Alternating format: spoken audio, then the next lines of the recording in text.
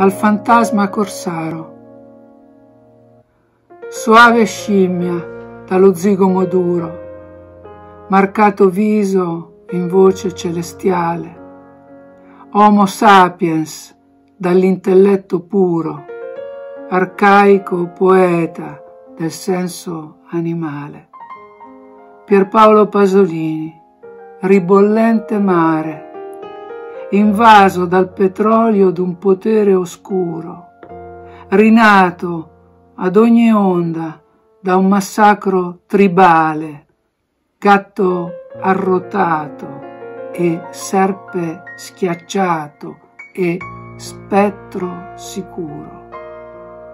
Pani e soli, lume e nome del futuro sepolto per la falsa coscienza nazionale, schiaffo allo scoglio di roso tamburo, eco infinita di maretta abissale.